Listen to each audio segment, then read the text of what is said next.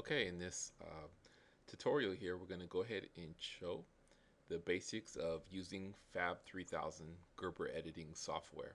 Essentially what I'm going to do is import uh, various set of Gerber files, uh, assign layer types, get all the prep work done, and then go ahead and view the Gerbers and then start doing some uh, basic editing features and showing you the ease and the ability that is that you're able to accomplish using Fab 3000. So the first thing I'm going to do in this case is I've started up FAB 3000. I'm at the start page.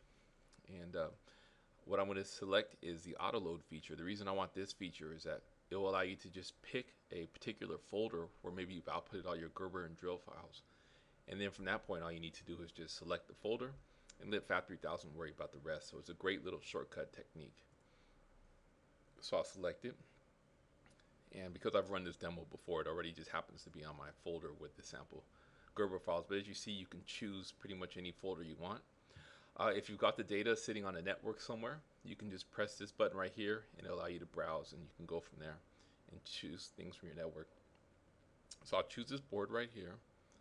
And then what we do is we come to this section.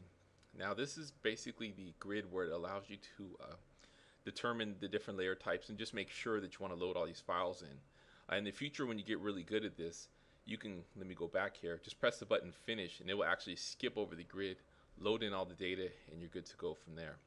Uh, so anyways, in this case, what I'll do is, as you see here, FAB 3000 has automatically detected each layer type for the different Gerber files. And the way it's done is by the Gerber file names themselves, which in general you can probably tell about 90% of the time where the Gerber file is just by the naming convention.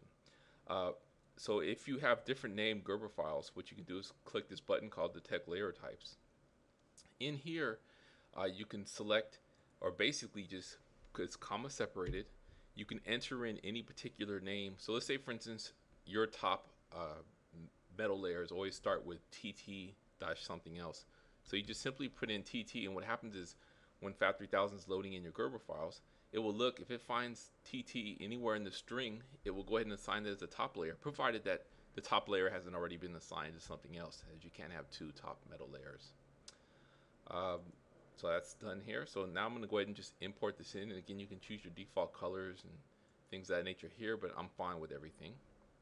All right, great. So now I'm at the point where I've loaded in my uh, Gerber data here. And as you see, I can, using the mouse scroll wheel, I can zoom in zoom it out, drag it. I can use the little control bars here, just as you would do with pretty much any type of viewing software for anything. Uh, so in this case, what I want to do is let's go ahead and make some cute little modifications to our top layer. So what I've done is I just double clicked on this layer. It's a quick way to just get rid of everything else so I can just view one layer at a time. I can always click the light bulbs here if I so choose. But you know, if I want to just quickly just look at one layer, I can do that. And uh, one thing to mention really quick is, let's say for instance I need to set up the, the layer sorting as far as uh, determining which layer should be on top, uh, which layer should be on bottom and everything else of that nature because a lot of times you're just loading in Gerber files which don't have any intelligence to tell it which should be top, which should be bottom as far as the stack up order. What you can do is here in this case, if I right click says it's the bottom type, so I can actually use the down arrow key here to have the top layer, ground, ground and then uh, the bottom layer set up here. And you can also perform the same for your solder mask and everything else. So I'll go ahead and do that just at this case, just set up my layers. So, so I put the solder mask on top and then I probably want to put the silk screen way on top of that. And you'll see also that on the layer control here, the layers are pretty much color coordinated per the layer type. So it kind of gives you a good idea of uh, what you're looking at. So we'll go ahead and set up this, and this is my solder paste. Uh, I suppose I can go ahead and put that way at the top.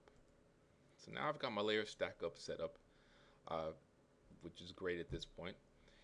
And on the next tutorial, we're going to go ahead and start the editing of traces and other modifications. So again, just a quick review. We've loaded in our Gerber files using FAB 3000, reviewed the layer types and other things of that nature. Uh, and then we've actually done the stack up now so and just show some basic layer viewing features. Thank you very much. And please try to listen to the next tutorial. Thank you.